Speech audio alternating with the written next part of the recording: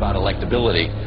Uh, do you have any, sir? There's always the question as to whether or not you are in fact viable. Your differences with the Republicans on the, uh, the, with the rest of the Republicans on this stage has raised questions about whether or not you can actually win the general the Republican nomination, sir.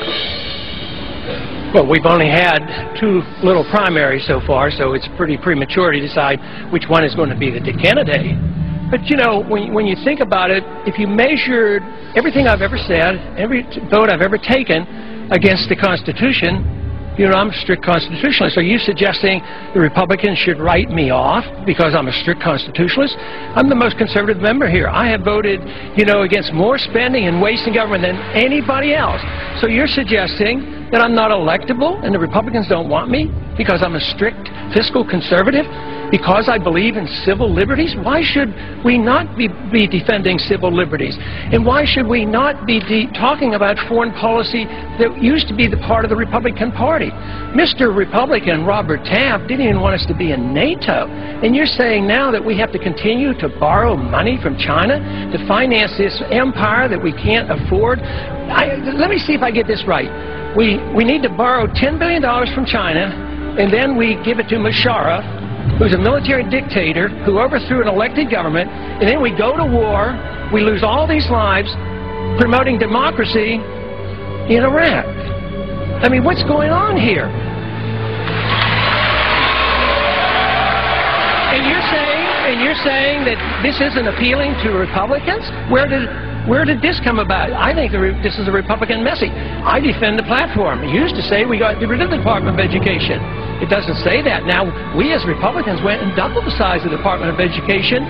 So where, where have we gone? I think we've lost our way. But then the insinuation that I am less Republican because of that? Congressman, thank you very much. We have to take one more break. We'll be right back with one of the most contentious issues of the day. Stay tuned.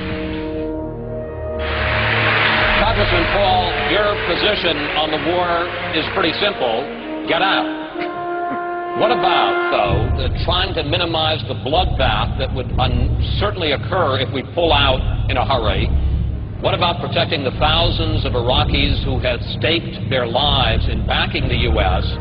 And would you lead troops in the region to take out any al-Qaeda camps that are developed after we leave? The people who say there will be a bloodbath are the ones who said it would be a cakewalk, it would be a slam dunk, and that it would be paid for by oil. Why believe them? They've been wrong on everything they've said. So why not ask the people why not ask the people who advise not to go in into the region and into the war? The war has not gone well one bit. Yes, I would leave. I would leave completely. Why leave the troops in the region? It was the fact that we had troops in Saudi Arabia was the re one of the three reasons given for the attack on 9-11. So why leave them in the region? They don't want our troops on the Arabian Peninsula. We have no need for our national security to have troops on the Arabian Peninsula. And going into Iraq and Afghanistan and threatening Iran is the worst thing we can do for our national security. I am less safe. The American people are less safe for this. It's the policy that is wrong. Tactical movements and shifting troops around and taking in 30 more and reducing by five, totally irrelevant. We need a new foreign policy that said we ought to mind our own business, bring our troops home, defend this country, defend our borders. So, so if...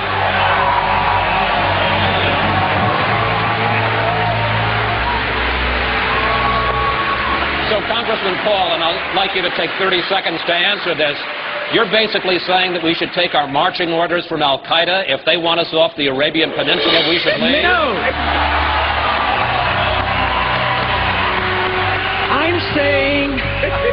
Saying we should take our marching orders from our Constitution.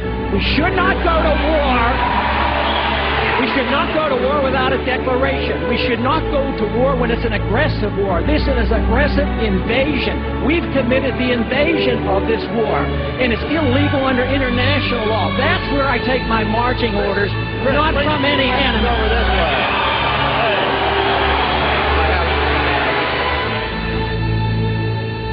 Not believe that there's ever a need to sacrifice any portion of our liberty to be safe and secure.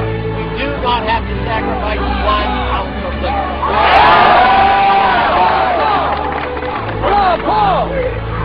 Let's vote for liberty, we'll do it, and we'll all be all right.